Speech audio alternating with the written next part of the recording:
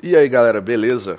Bom, no vídeo de hoje a gente vai estar falando sobre LUTs e Native UI.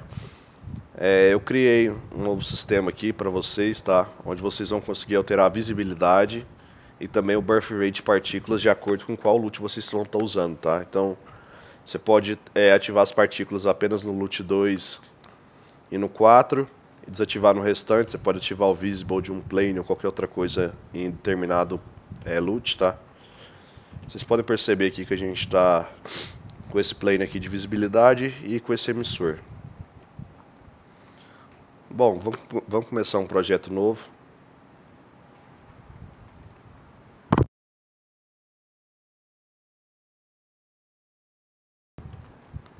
Vamos começar esse projeto aqui. Vamos adicionar o nosso retângulo.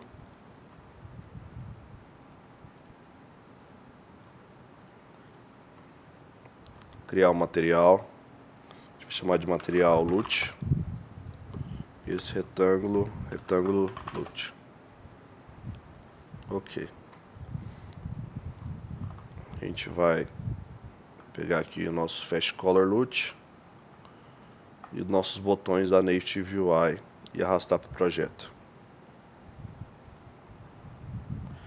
Agora a gente vai criar um Animation Sequence.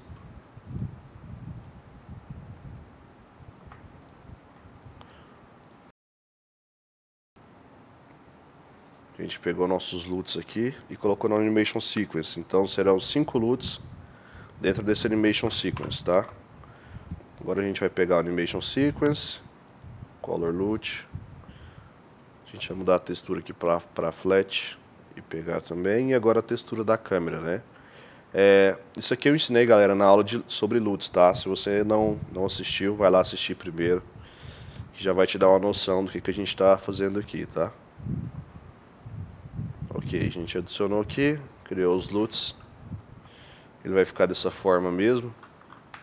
Enquanto a gente não controlar o valor é, de qual frame a gente vai estar tá usando, tá?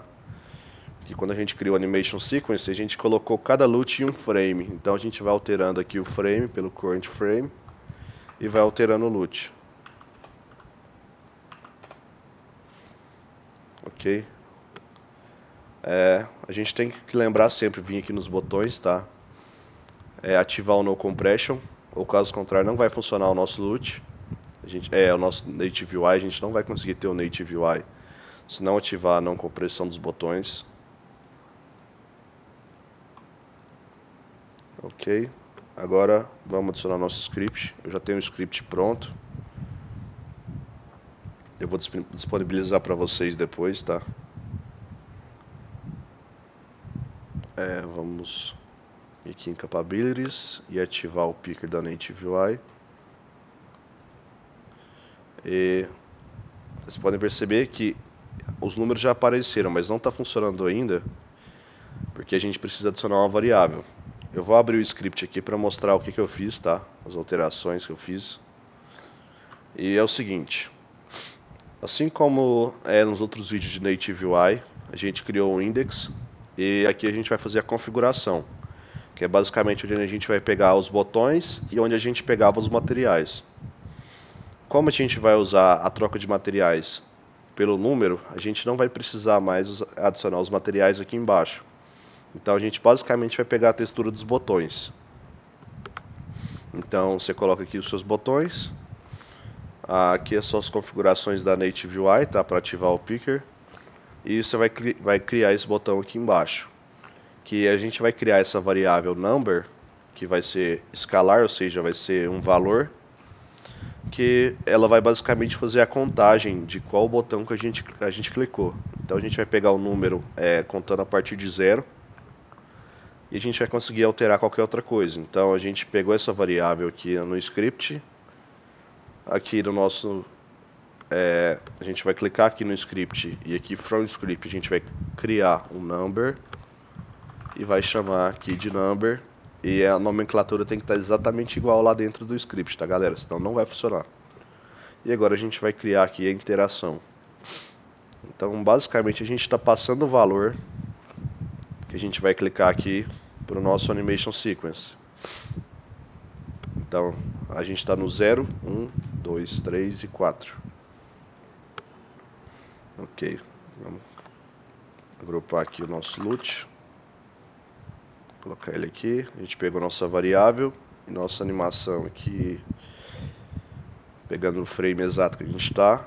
Agora a gente pode fazer equals exactly.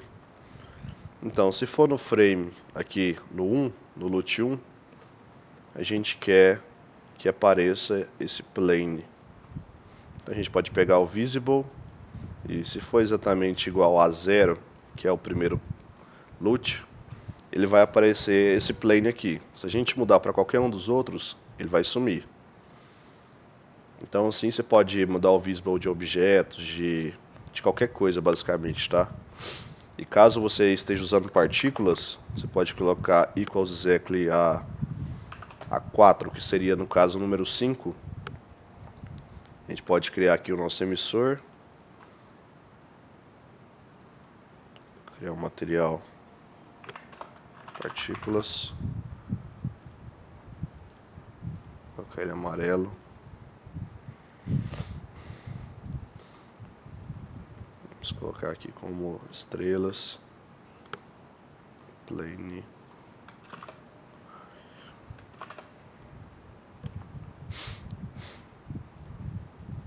Aumentar a vida deles porque está morrendo muito rápido. A gente vai pegar aqui o birth rate e vai usar o if then else. Que basicamente vai dizer que se o número for igual a, ao 4, ele vai é, o birth rate, que é a taxa de nascimento da partícula, será 20. Caso contrário, vai ser zero. Então, se a gente clica aqui no 5, ele vai alterar para 20. Se a gente clica em qualquer outro, ele vai continuar aquelas partículas, mas o, a taxa de nascimento por segundo vai ser zero, então não vai nascer mais partículas. O que é bem melhor do que se a gente alterasse o visible, que ia ficar aquele efeito de cortar de uma vez as animações, né? Ah, vocês podem fazer qualquer outra coisa, tá, galera? Por exemplo, caso você queira ativar também as partículas no, no Loot 3, você pode criar aqui um OR que basicamente vai dizer que se o número for exatamente igual a 4 ou exatamente igual a 3, vai ativar as partículas. Ou seja, nesses dois últimos, as partículas continuarão ativas. E caso você vá para outro número, ele vai desativar. Bom, galera, é, basicamente é isso, tá? Eu vou deixar o script aí no, no GitHub para vocês baixarem. E se inscreve no canal aí, tá? Deixe seu like. E valeu, galera. Até o próximo vídeo.